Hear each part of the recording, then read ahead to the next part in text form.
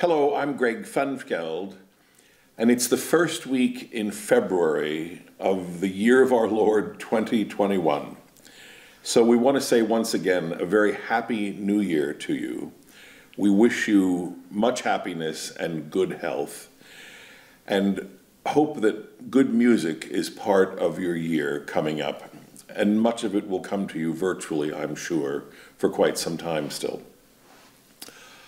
I'm delighted to say that this week and next, our Moments of Comfort will feature my very, very dear friend Charlotte Mattax, the brilliant harpsichordist and organist who has been part of the Bach Choir family now for several, many decades. I'm, I should not say how many, but, but Charlotte has been at the heart of everything we've done for a long time, and her contribution has been inestimable invaluable, essential.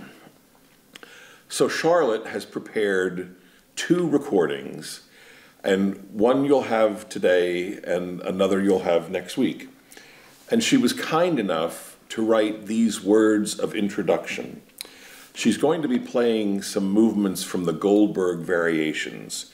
You'll see them identified on the screen. But this is what Charlotte writes for us. These videos were made in a lavishly decorated drawing room in the Beaux-Arts inspired Smith Memorial Hall at the University of Illinois. You may remember that Charlotte has filmed some videos for us from this beautiful hall before. She goes on to say, the harpsichord is a copy of a French double manual instrument after Nicolas Dumont, made in Paris 1707. This instrument made by John Phillips in Berkeley in 2009. So it's a copy of that French instrument from 1707 made 200 years later in Berkeley, California, 2009. Charlotte says this about the Goldberg Variations. The Goldberg Variations, the popular title by which we know these pieces, comes from a largely debunked account by Bach's biographer Johann Forkel, who claimed that the work was commissioned by the Russian envoy to Dresden to be played by his house harpsichordist Johann Gottlieb Goldberg to help him overcome insomnia. A child prodigy and student of Bach's, Goldberg would have been barely 13 years old when they were published around 1742. So that myth has largely been debunked. Although no autograph for the work survives, a Handexemplar, a copy of the first edition in Bach's own hand, surfaced in 1975. One of the things I think about the Goldbergs, and this is me talking now, Greg, is that they're pieces that you can listen to again and again and again.